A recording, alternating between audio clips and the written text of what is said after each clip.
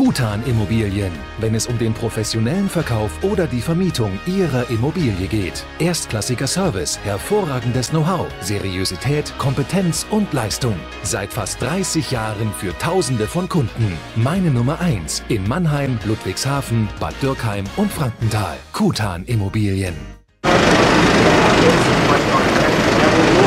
Zu einem sehr schweren Verkehrsunfall kam es gestern Abend im Rhein-Pfalz-Kreis in der Gemeinde Böhl-Igelheim.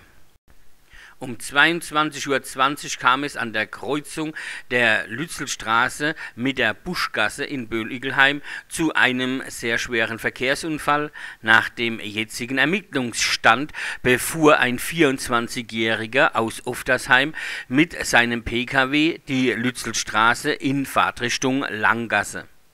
An der dortigen Kreuzung musste er aufgrund Rotlicht anhalten. Nachdem die Ampel für seine Fahrtrichtung grün zeigte, fuhr er in die Kreuzung ein. Dabei kollidierte er mit einem Pkw eines 39-Jährigen, der die Buschgasse in Richtung Eisenbahnstraße befuhr und in die Kreuzung bei Rotlicht einfuhr.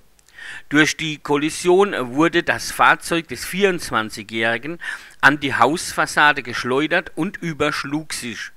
Der Fahrer konnte sich selbstständig aus dem Fahrzeug befreien und wurde nur vorsorglich zur Untersuchung in ein nahegelegenes Krankenhaus gebracht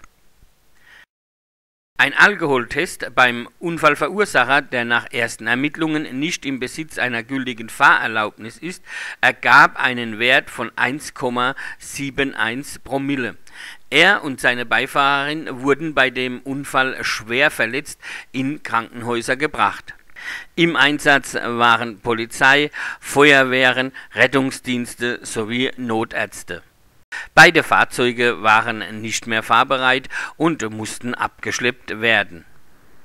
Metropolregion Rhein-Neckar-News sagte Dankeschön an die Polizei, dass wir anständig unsere Arbeit machen konnten und wünscht allen Verletzten eine gute Besserung.